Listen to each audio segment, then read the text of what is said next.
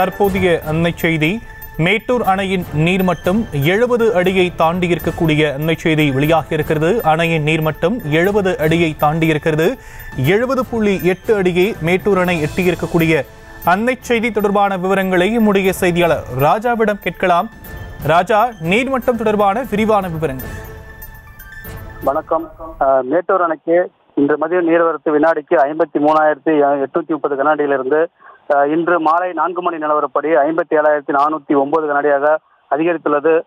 மேலும் மேட்டூர் அணையின் நீர்மட்டம் எழுபது புள்ளி எண்பது அடியாகவும் நீர் இருப்பு முப்பத்தி மூணு புள்ளி முப்பத்தி ஒன்பது டிஎம்சியாகவும் உள்ளது. மேலும் குடிநீர் தேவைக்காக மேட்டூர் அணையிலிருந்து வினாடிக்கு ஆயிரம் கனஅடி கன கனஅடி தண்ணீர் வெளியேற்றப்பட்டு வருகிறது. விவரங்களுக்கு நன்றி ராஜா. செய்திகளை உடனுக்குடனும் துல்லியமாகவும் தெரிந்து கொள்ள சப்ஸ்கிரைப் பண்ணுங்க.